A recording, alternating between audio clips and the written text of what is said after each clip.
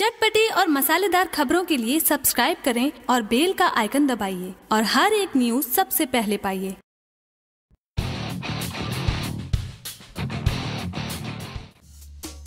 भोजपुरी फ़िल्मों के युवा सुपरस्टार अरविंद अकेला कल्लू का एक और नया धमाकेदार फ़िल्म का ट्रेलर जारी कर दिया गया जिसे भोजपुरी दर्शक काफ़ी ज़्यादा पसंद कर रहे हैं। साथ ही साथ ट्रेलर को भारी मात्रा में अरविंद अकेला कल्लू के फ़ैन सोशल मीडिया पर शेयर करते हुए नज़र आ रहे हैं। दरअसल आपको बता दें कि हम बात कर रहे हैं उनकी आने वाली फ़िल्म दिलवर के बारे में। आपको बता दें कि दिलवर का ट्रेलर का इंतज़ार भोजपुरी दर्शक काफ़ी लंबे समय से कर रहे थे। हालाँकि फ़िल्म का टीजर पहले ही जारी कर दिया गया था लेकिन फ़िल्म का ट्रेलर अब जारी कर दिया गया। जी हाँ, आपको बता दें कि दिलवर का ट्रेलर चार मिनट दो सेकंड का है, जिसे जारी किया गया है नव भोजपुरी का ऑफिशियल यूट्यूब चैनल पर। जी हाँ दिलवर का ट्रेलर नव भोजपुरी का ऑफिशियल यूट्यूब चैनल पर जारी होते यह ट्रेलर पूरी तरह से वायरल हो चुका है। आपको बता दें कि फ़िल्म के ट्रेलर की शुरुआत अरविंद केला कल्लू अपने दोस्तों के साथ जमादार कॉमेडी करते हुए ट्रेलर की शुरुआत होती है। उसके बाद निधि जा का शॉर्ट्स और अरविंद केला कल्लू का जोरदार डांस परफॉर्मेंस दिखाया गया है। दिलवर में अरविंद केला कल्लू के साथ निधि जा संजय पांडे, मनोज टाइगर, अनूप अरोरा, महेश आचार्य, अंजलि बनर्जी, कृष्णा कुमार जैसे मज़े हुए कलाकार फ़िल्म में नज़र आते हैं। साथ ही साथ फ़िल्म में अरविंद अकेला कल्लू के साथ बबली गर्ल यानी कि रितु सिंह का जोरदार आइटम सॉन्ग भी टेलर में डाला गया है, जो दर्शकों को काफ़ी ज़्यादा पसंद आ रहा है। कुल मिला के कहा जाए तो टेलर में वो सभी मसाला मौजूद है, जो भोजप्रिया दर्शकों को पसंद आती है। ऐसे में अगर आप लोगों ने अभी तक अरविंद अकेला कल्लू का धमाकेदार फ़िल्म दिलबर का टेलर नहीं देखा है तो आप न भोजपुरी का ऑफिशियल यूट्यूब चैनल पर जाकर फ़िल्म का टेलर ज़रूर देखें। और जिन लोगों ने फ़िल्म का टेलर देखा है, वो हमें कमेंट करके ज़रूर बताएँ कि आपको अरविंद अकेला कल्लू का दिलबर का टेलर कैसा लगा?